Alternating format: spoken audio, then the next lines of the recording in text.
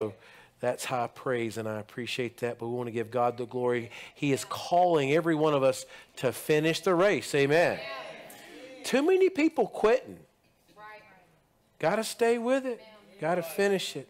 And today we want to continue that thought in First Chronicles chapter 4, uh, verse 23. And be here tonight. We've got a special speaker, an apostolic sage, a teacher, a preacher, a man led by the Spirit. You're not going to want to miss that special speaker tonight. First Chronicles 4 and 23 reads this way These were, I'm not going to read all the Old Testament names there. I'm just going to say, These were the potters and those that dwelt among plants and hedges. There they dwelt, where they live? With the king. Why? For his work. Simple thought today the Lord wants finishers in his house. Finishers in the Lord's house. Finishers in the king's house. Finishers in the church building. Amen. Put your Bibles down, lift your hearts and minds towards heaven. Jesus today.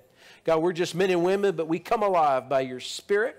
Quicken us, God, anoint our ears to hear God, anoint this word. I'm just a man, but your word is powerful. Let it find good ground and let it grow and be fruitful. Lord, to men, this looks like foolishness, but today we know it's the wisdom of heaven by preaching, by hearing, by applying the word of God. Transformation, joy, peace, and love can come in our lives. We need it today. Help us to receive it. And everybody say, in Jesus' name. Now get out of the row you're sitting on and find somebody you don't know and greet them in the name of Jesus today.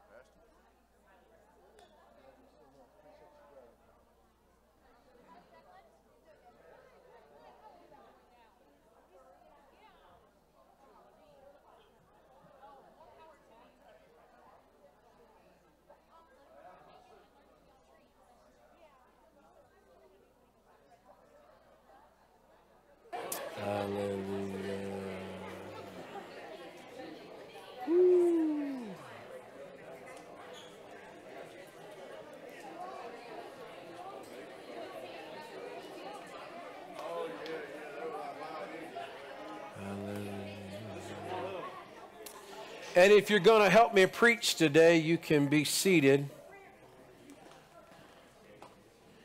Gloria, good to see you today in the house of the Lord. I must admit, I am still mad at Sister Katie today. She sold me 24 dozen, excuse me, 24 egg rolls, two dozen. I'm sorry, I almost said 24 dozen. Ooh. Egg rolls. She made them yesterday, and we went and picked them up, and I got to tell you, she shouldn't call them, take them home. She said they made it almost home. And my, I wasn't sure if my pants that I'd laid out for Saturday was going to buckle this morning. I, I'm still in pain. They're delicious. Thank you, Sister Kay. I'm so glad to be a part of a family that don't endure each other, but encourages each other. Amen. Y'all ever had family gatherings where you're just enduring? You know, you're looking at the clock won't know when it'd be too rude to leave, but maybe I'm the only one has family like that. Hallelujah. I want to talk today about potters in the king's house. I'm going to ask a question. Anybody here ever had a house built for you, or have you built a house for yourself? Anybody built or had a house built? Okay. And, and let me let me just say, it is amazing that you can purchase a lot and the excavator can come and scrape it off really quickly and the footer goes in fast and the foundation is laid quickly and then the framer can come in and I mean in just a week to 10 days it can go from an empty lot and it looks like a house there. And then another week to 10 days, the rough ends can happen like plumbing, electrical, insulation, mechanical. And then another 10 days, the drywall hanger can come in. And, you know, just within about three weeks, you've gone from a piece of dirt, my home, and you think, man, three, four weeks, we've got all this done. This time next month, I'm moving in. And I got a statement for you. Ha, ha, ha, ha, ha. It starts fast, but it finishes slow. Don't preach in just a second. The house starts quick, but it finishes slow because you move into what's called the finished trades sheetrock painting, trim carpenter, and things slow down because it's not just getting the job done, it can't just touch because that's the difference between a framing carpenter and a finish carpenter. A framing carpenter has the attitude if it touches, nail it. There might be a gap, but no big deal. But when it's a finished carpenter, he'll measure it three times before he cuts. And then he might shim a little bit because he doesn't like the way it droops at one end. And then he might put a spacer or a notch in it. He may even cut a groove in the sheetrock to make it lay level. He gets a little broom and sweeps the little garbage on the floor out of the way. Whatever it takes, he wants to get it as, here's the word, tight as possible tight as possible. I don't have time to preach this. That's what I love about Ephesians. It's a house fitly framed together. Did, did you know in their custom that they built the temple, it didn't need no nails?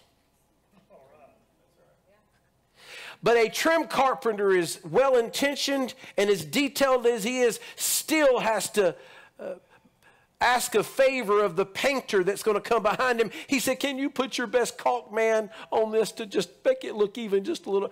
Now, let me tell you, painters get nervous when carpenters start caulking because they're usually covering some stuff up.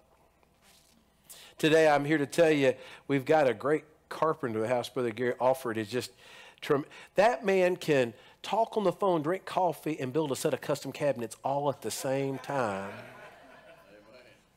I mean, he's got it, you know. I, I know he's retired and he'll, oh, I've slowed down.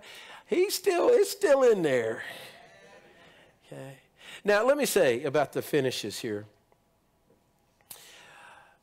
We must admit that those that are in the finished trades are a little bit more like artists. It's not just if it touches, nail it. It's got to look good. It's got to present well. It's got to look complete. They're more particular. Now, I remember talking, coming into a house. We were, our company was going to paint the inside of this house, and I was talking to the uh, sheet rocker. Now, there's a difference between a, a drywall hanger and a drywall finisher a drywall hanger, that gap will be covered. Don't worry about it. I've seen them push and push and push, and all of a sudden a hole come up where they didn't take time to cut around an electrical plug. They just pushed it through, and now there's a damaged corner. And I'm thinking, that board's bad. He said, No, the mud man will fix it. They'll cover all the cracks. And, and I think that's what First Peter's talking about when it says, For love covers a multitude of sins. The mud man will cover it. Don't worry about it. The finish will come in there and complete it. I want you to get this. No matter the brokenness, no matter how much it may come up short, no matter how, oops. Who's ever heard an oops? You never want to hear your surgeon say oops. Drywall hangers show up leaving. They can't get out of there fast enough.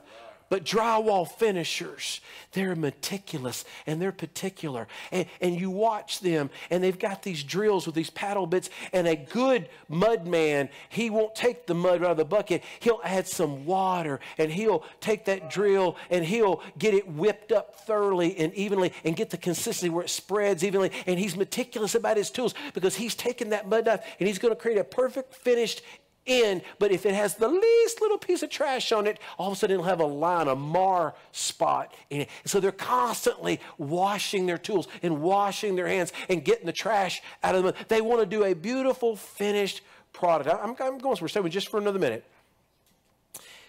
It takes that finishing to make a house able to become a home. Now, I want you to get this. It takes all of these people to create a place where it's warm, safe, and beautiful that provides light and water. But let me ask a question whose name is on the house? It's none of the tradespeople, it's the builder who's got the loan, who bought the land, and who's got the blueprint. He may never physically touch a thing, but he's got the vision for the finished product. If something goes wrong on that job, it comes back on him. If there's a lien on that property, it affects him. His name goes on the sign in the yard. I'm going to, say this God is the master builder, He has the vision for the blueprint. He's done purchased it all and He's already provided it all, but He is looking for finishers to. I'm afraid the building goes up fast and we think we're almost there. But when you're born again, the work of God has just begun in your life. There's a finishing, there's a process, there's a renewal, there's a refining that is required. I'm going to I'm going to preach it. Here's what I want you to get it's His house, but He's looking for finishers.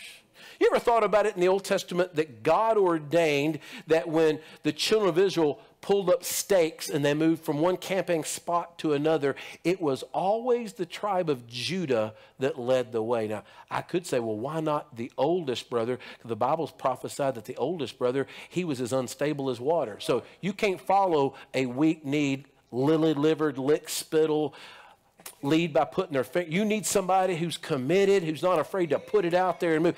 And then I thought, why not the tribe of Levi? That was a priest line. But God said, I want you to follow Judah. And Judah means praise. And the face of what people saw the children of God when they came in the promised land, it was the tribe of Judah. It was praise. You know what will break down every barrier, what will remove every obstacle, that will lead us into a place of promise is when God's people begin to praise and worship. You can look it up. The last thing that separated the holy from the most holy place was an altar of incense, which was a place of praise. That the, the cloud of incense went up as praises before. I feel the Holy Ghost. We need to know that what leads the way is praise. Praise is awesome. But we never think about who the third tribe or the fourth tribe or the sixth tribe is or the last tribe. The last tribe is the one who ministers to the weak, the feeble, the stragglers. Can I tell you, that was the tribe of Dan that come alongside those and spoke words of encouragement. You can make it. Let me help you pick up your load.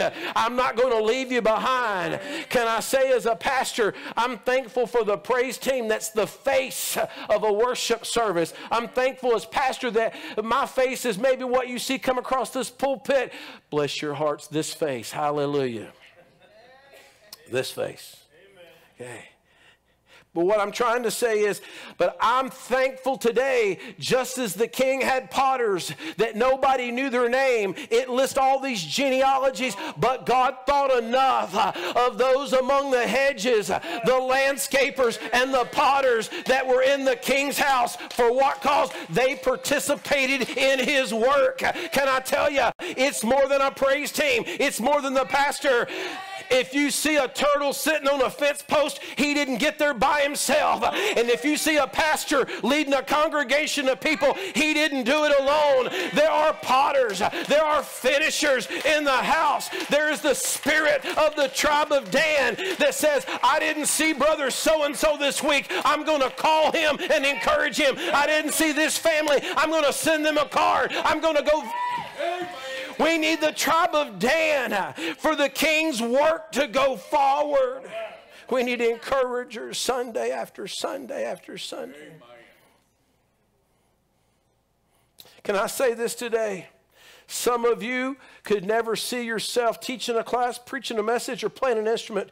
But this pastor is thankful for those who are potters, who help in the finished product, that are those who give faithfully week after week after week, those who attend faithfully week after week. We could never do this if you didn't do that. God is saying through His Word, I don't forget the people. You may not know their name and you may not see them and you don't feel comfortable being up front, but I'm telling you, this pastor wants to say thank you that there are still finishers, there's still potters, there's still givers, there's still worshipers, there's still encouragers in the house of the Lord. I don't know if you understand this or not. Hidden among the plants. Do you know that these people, these potters, these that worked, we don't know their name, but we do know this. They never sat at the king's table, and they never sat in the, in the king's parlor and discussed politics with him, but they worked and they did what they could. I'm thankful for those of you who may be hidden among the stuff, who clean the church who pray, who endure, who contend, who intercede, and on and on. You may never be up front, you may never be seen, but here today, God wants you to know that He knows your name. He's keeping a record. You will not give a cup of cold water to a prophet and him forget it. You will not give a tithe. You will not give an offering. You will not give a praise. You will not give a prayer that God does not remember it. And let me say this pastor is so thankful for those who participate in this ministry to help the King of Kings and the Lord of Lords achieve his goal. So, while potters in the king's house? First of all, potters are finishers of vessels. Vessels of this time were clay. Now, we got Tupperware today. We even got disposable Tupperware being sold today. Anybody ever had leftovers out of a Cool Whip container? Or a little margarine tub. Anybody ever had lima beans warmed up? Come on, somebody. They didn't have plastics and they didn't have mason jars. They used crockery or they used pottery. And so the potter, in order to have vessels to be used in the service of the king's ministry, those that he may be lobbying as an ambassador, or those who's trying to sign treaties with, or people he's trying to help, or armies he's trying to amass, or resources he's trying to gain, or even to gain the mind of God. It took, it took people to help work in that overall ministry. For, for a potter to be successful, he's got to get his hands dirty. Not everybody wants to get their hands dirty. I'm so thankful we serve a God that's not afraid to get his hands dirty. Because he spit on the ground and got his hands dirty. He shaped humanity. And when God robed himself in flesh and dwelt among us, there was a man that could not see. I'm so glad Jesus wasn't afraid to get his hands dirty. He wasn't afraid of lepers. He wasn't afraid of prostitutes. He wasn't afraid of the broken. I'm so glad that Jesus spit on the ground. He said, You don't got no eyes that work. Let me just make you some new eyes. And he put it on him and said, Go and wash. What I'm trying to tell you today is that we've got to be like the king we serve, not afraid to get our hands dirty. You got to get your hands involved in what's going on. Did you know that just like painting or, or drywall or carpentry, it's not, it's not just visual, there's a feel. Skilled tradesmen can know by how the hammer sounds whether it found an anchoring place. A, a painter knows by the, by the sound or the feel if the, the sprayer is about to give up the ghost. And, and the drywall guy, he just knows, he don't even have to open his eyes. He, he can just know by the swap of the knife if, if it's going to be right or not. There's a whole industry, if you didn't know this, of blind sculptors. They're very similar to, to potters, that they can do the work of a sculptor or a potter by feel, by touch. And, and, I want you to know that a sculptor has three aspects. He has the clay, but then he has to add some water to make it pliable or workable, and then he spins it around and around. What are these three components? The clay is the, is the earth, the natural resource. The water, Saddler's opinion, is the Word of God. We deal with hard hearted people. We see people that are rigid and inflexible, but the Word of God will soften a hard heart. The Word of God will give hope. The Word of God will say, Take me, use me, mold me, sculpt me, shape me. So, what is the spinning around? I believe that's time as the earth goes round and round. Can I tell you what? You're never going to complete a vessel in one second, one minute, one hour, but it's the daily touches. You see somebody today, you don't say, I'm one and done. You reach tomorrow and touch them, and the next day, and you keep touching their lives, you keep influencing them, you keep exhorting their righteousness and good works until there's a completed work spinning time. Vessels to contain water. The king needed fresh water. Vessels to contain fuel that could be used for lights had to be stored. Food and food storage was required. The king, to be effective, needed some people, some potters to do some finishing for his house. You may never be seen, but you're so important. Who are the potters and the finishers? I'll just tell you, I put this on top of my list soul winners. Soul winners. You didn't even know you were lost. But somebody says, Where are you? And you can't answer that question. Somebody can point you in the right direction.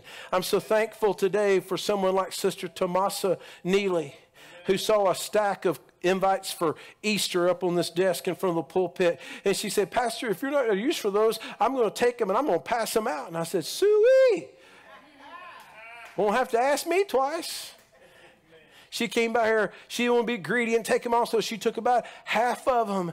And when she had a chance, she went over here to the soccer park. And if you were dumb enough to make eye contact with that apostolic prayer warrior, she was on you like white on rice. She said, Woo, come on. You need to come to church. You need to come to church. You need to come to church. She landed on them. They were bowling out of the park like crazy. She did so good, she went back and got the rest. She said, If nobody else are going to use these, I'm going to use it. Do, you know where I think that comes from? I knew Tomasa before she knew Jesus. I saw the unresolved conflict and the, the angers and the unanswered questions and, and how did I get here and how am I going to get out of here? But God, who is rich in mercy, who is faithful. I saw a transformation in my sister from everything's wrong and there is no God to everything's good because I see God. Was a, and I, I, just know where her passion for souls comes from. It's not because she's got it all figured out or she's better than anybody else. It's because she knows what it is to be on bottom. And the God we serve can take you from the bottom and set you on top. Our God can take you from under the dog pile and set you in heavenly places above it all. And she says, God is no respecter of person. If He'll do it for me, He will do it for you also.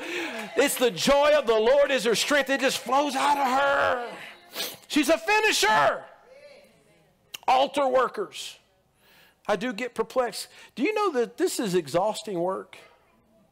I mean, I guess I could preach it. Let us turn to the 23rd Psalm. Would you really want a pastor preaching about eternal things? In a passive way or you want somebody who really believes with passion what they're talking about. And if you're doing this right and you're doing it regular, it, you're going to be tired. It's, it's a draining job. And sometimes we get to an altar service where people are, in the valley of indecision or uncertainty or not know what to do next. I'm thankful that there's some altar workers that come prayed up. They don't have to find a quiet corner to have the pump primed. They show up ready. They're like spiritual midwives saying they're holy Holy Ghost wants to be born in you and through you, and they battle with you to see new life brought down from above, and people become new creatures in Jesus Christ. I'm thankful for finishers like youth workers who don't give up on kids. Mama and the church are never going to give up on kids. I know we're living in unprecedented times. I know we're dealing with things we never thought we'd have to deal with.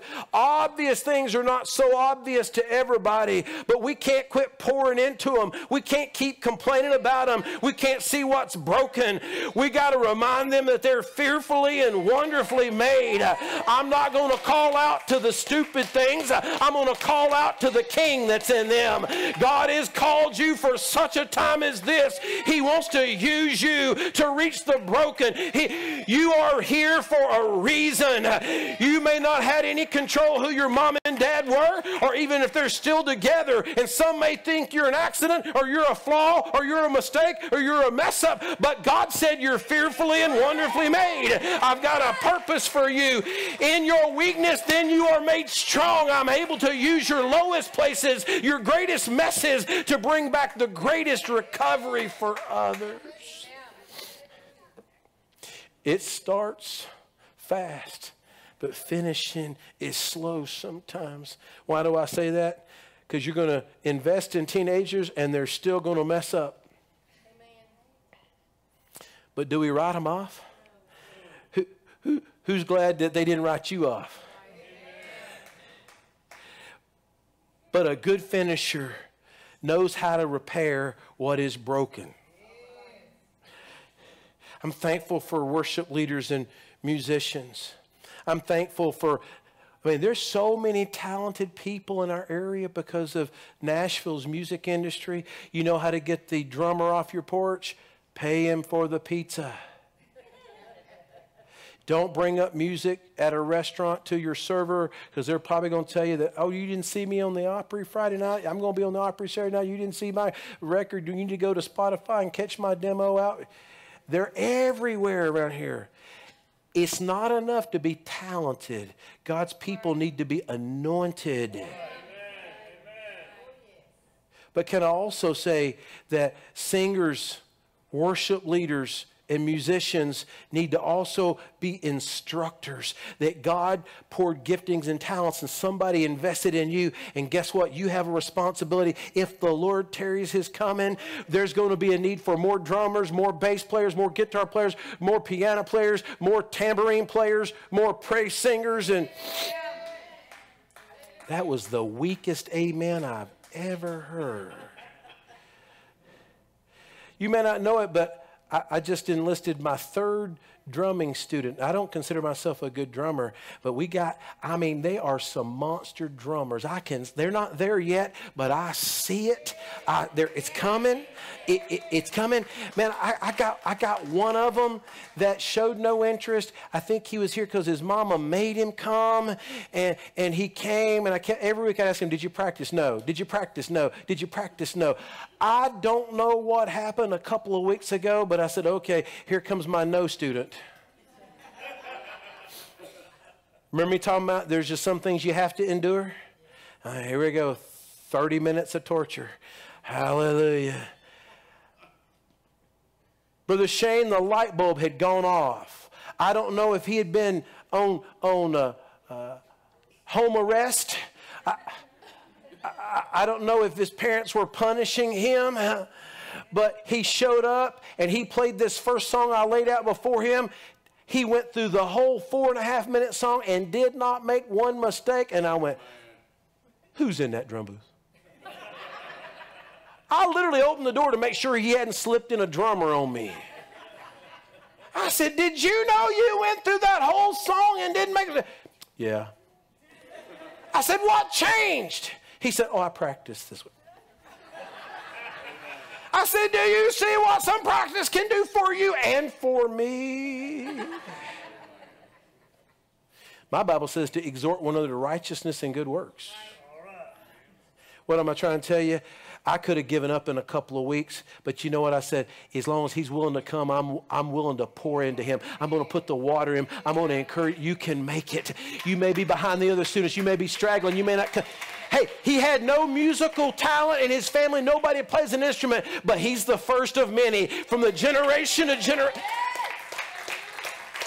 I know I'm, I know I'm talking about music, but I, I, can say the same thing for preachers and teachers. I, I, there are some of you that God's got a calling, there's an anointing in your life, and you need to quit being passive and you need to apply yourself. You need to study, you need to dig, you need to learn because God needs some finishers in His house.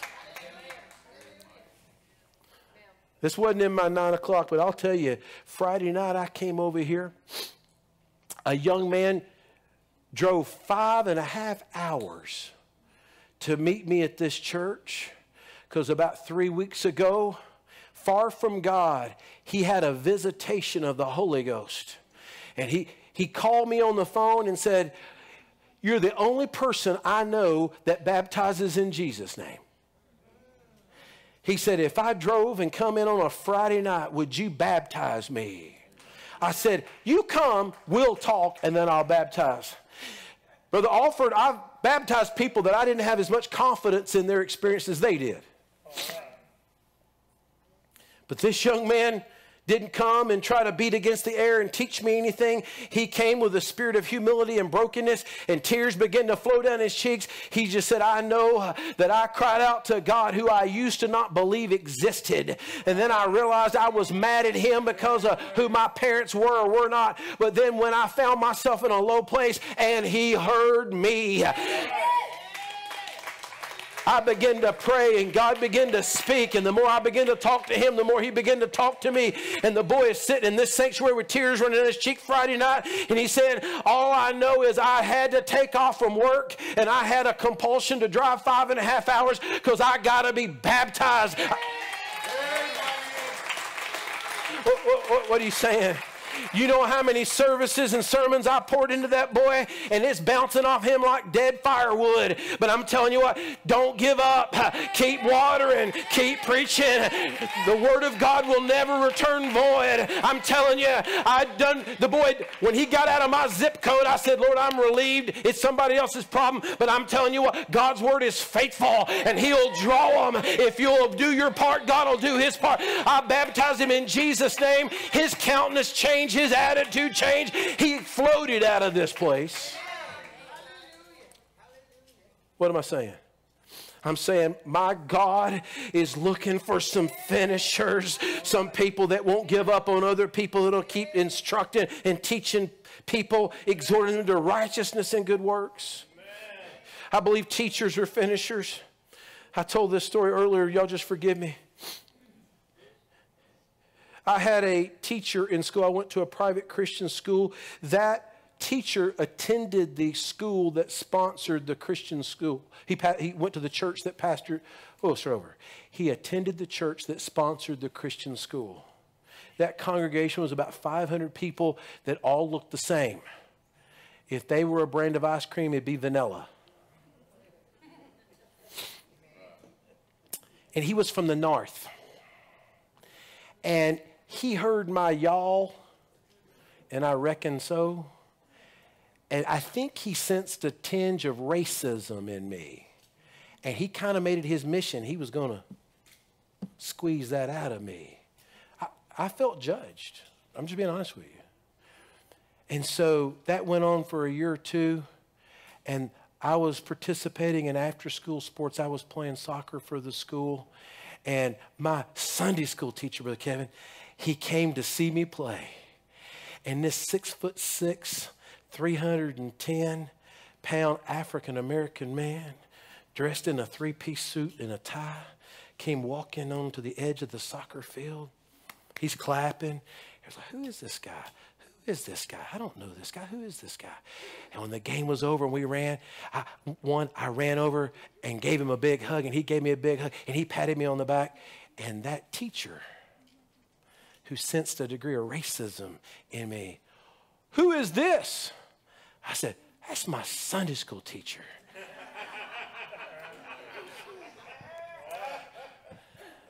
That's Jerry Ford. I wanted to give him his resume. His resume was this he graduated college with honors, became a CPA. Then he went back to college and got a degree in criminal justice and became an Alabama state trooper. And then he went back to school and became a, a mortician and opened up a chain of mortuaries. He, everything he touched, he succeeded at. He was, he was just a beautiful example of those who try succeed. Now, why, why, why are you bringing this up, Pastor? I'm bringing it up because it was Jerry Ford who was my Sunday school teacher when I was a mess up, distracted, hormone ridden teenage boy, full of energy. And every time I would walk in that class, he didn't start going, You're going to sit down and be quiet. No. There comes my little professor what are you preaching? I'm trying to tell you, he didn't see the problem in me. He saw the promise that was in me. We need some teachers that don't see everything as a problem, but they see the promises of God. You're right for this generation. God has called you and equipped you, little professor. I wanted to tell that teacher, you ought to come to my church.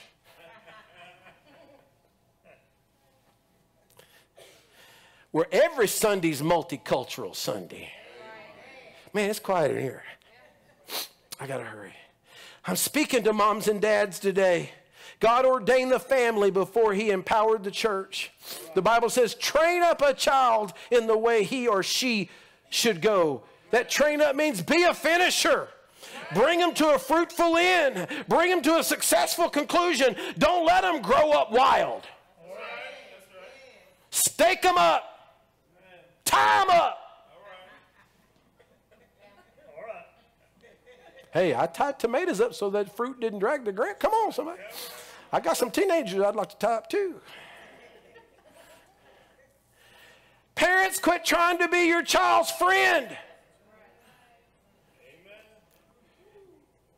The hard part wasn't giving birth to them, that's just where it began. You need to start asking some questions. Now, who is it you're going out with? What's on your phone? You ain't got nothing to hide, do you? You're not leaving this house wearing that. We need some parents to put their hands to the lives of their children to shapen them. Don't let them grow up like everybody else is growing up. Everybody else is broke, confused, faithless, corrupt. We're not raising dogs in our house. We're raising sons and daughters of the King. Don't ask, do you want to go to prayer chain? What time did you sign up for prayer chain, son? We're not going to just forgive when we feel like it. We're going to be givers and forgivers. Help them finish. Help them be complete. Don't let, well, I was born this way. You need to be born again. Let me put my. Parents, say to your kids, you were created for such a time as this. Mold them to be teachers in this world, to be tithers, to be worshipers, to be givers, to lead businesses, to be successful, not for their glory, but for God's glory. Be a potter, pour into others, mold and shape them. Be a finisher of other vessels. Without potters in the king's house, there would be no party in the king's house. And if you don't realize your significance. You may never be the face. You may never lead from this position, but you have an impact on the king reaching his goal, which is a finished house with finished vessels for the work that is before us. Can I tell you this? I've preached a lot. I've preached a lot. I love to preach. It's what God called me to do. But I've reached that age where I get just as excited about somebody else preaching as I do me preaching. Especially somebody that I feel like I've had an impact or an influence or a connection with. There's a, there's a preacher over in South Central Missouri named Gary Spencer that I felt like I had just a little impact in his life. And to hear the exploits of what he and his church are doing now, I get excited about that. When I see somebody that I've spent some time with to see them to, to reconnect and grow and mature like Gil, or to see someone like Matt who didn't grow up in church or definitely not Pentecostal Apostolic Church, and, and to see him grow and, and want to impart words and be used, I'm telling you, it's all I can do to sit still. They're up here doing a great job. I'm over going, Won't be long. I'll get to sit down there with y'all. And people like them be leading. You know, I'm, I'm going to be their biggest cheerleader, their biggest fan. I get excited. Excited when other people do well. God is looking for potters, finishers. Now, catch this. This is, a, this is a very important statement. I'm getting ready to wind it down. Who knows that Jesus is the one who does the calling. If your mama called and daddy sent, you won't stay with it. But when you encounter Jesus on the Damascus Road, it'll, it'll leave an impact on you. Jesus calls. Who knows Jesus does the saving? Jesus does the redeeming. Jesus does the atoning. Jesus empowers us. But guess what? Then Jesus says, But you make disciples of all men. You know what he's really saying? I got it started. Now, what I want you to finish them. We think being Holy Ghost filled, we've concluded that's just the beginning. If you thought just having the baby was it, you ain't got through the terrible twos. You haven't lived through teenage years. You haven't lost sleep wondering if they're dead in the ditch because they're too dumb to call you to let you know they're running. Oh, I'm sorry, I slipped into parent mode here. When you live through all that and much, much, much, much more, what are you saying, Pastor? I, I, I'm saying very clearly, what an awesome thought to realize that God did all the heavy lifting, but then He's entrusting us to finish what was started. What do you mean by finishing? We look at a new convert and say, Oh, baby, you're doing so good. But let's not use that word, and here's why. Oh, I'm so glad to see you today and how much progress you've made, but I don't think I would go there or do that, and here's why. We got to be kind. We got to be gentle. We got to be meek, but we got to keep finishing. There is brokenness. There are flaws. There are spaces, voids in people's lives that the mercy of God can cover, but we've got to finish it. Finish it. God did not save you, and He will not save them to stay in the pig pen. He has called us out of darkness. Hear me. Can you imagine a man coming by that pig pen saying, Aren't you so and so's son? Yeah. He's covered in mud. He's been rolling in pig, pig droppings. He's been eating the husk. He, has got corn silk coming out between his teeth. Y'all, y'all getting what I'm saying? He's got bed head, rags for clothes, no shoes. He knows he stinks. He knows he's dirty. He knows he's eating things he ought not be eating and hanging out in places he ought not be hanging out. But he also knows he made a decision and he has no hope.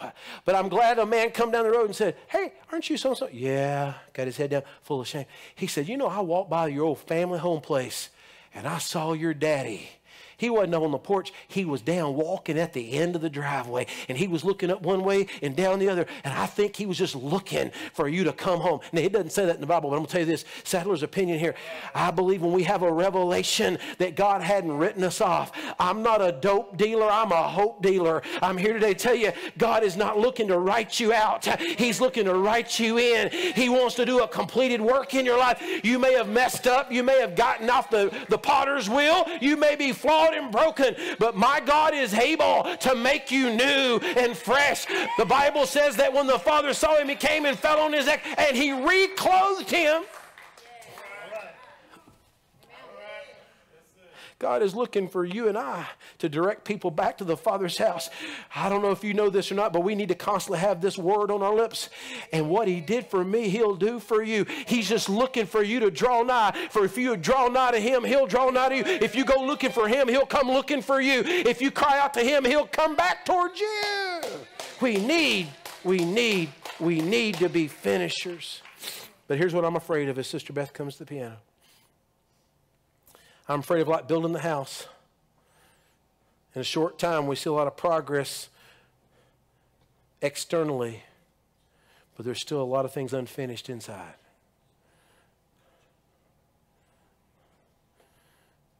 Great progress that everybody sees, but God wants to do a complete work.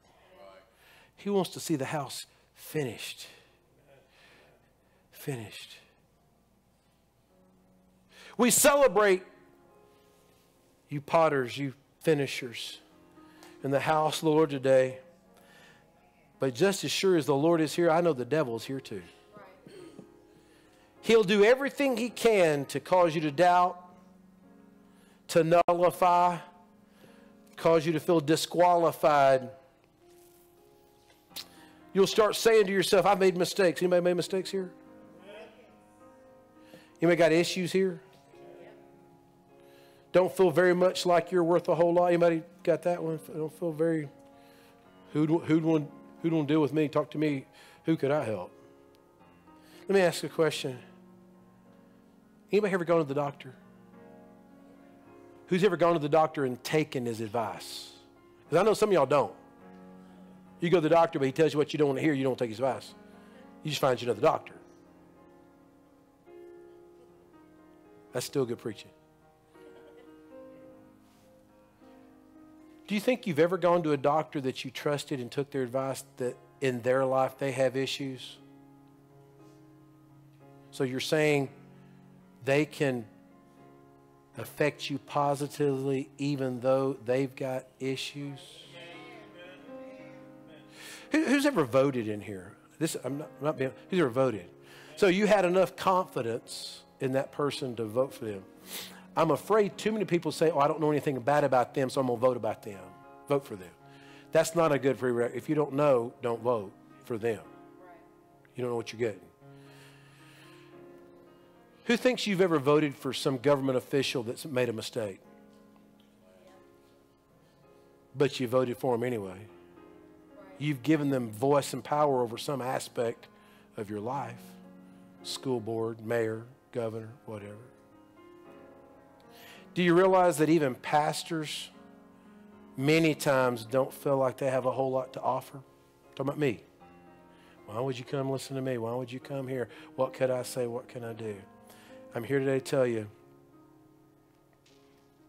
doesn't matter if you have issues, doesn't matter what mistakes you've made, doesn't matter how you feel about yourself, God has called you to finish His work. Do you know His name is on it? His name's on the church. He owns the house. To him be all praise, honor, and glory. But think about it. How humbling is the revelation that he laid the foundation, paid the price, provided the tools and resources, but he's waiting on you to finish it.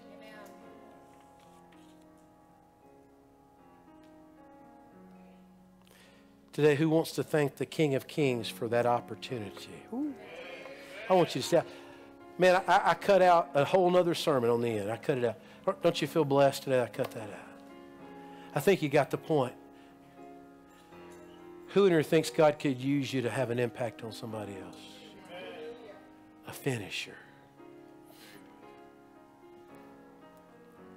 I'm looking at some of these young people today, man. My heart is full.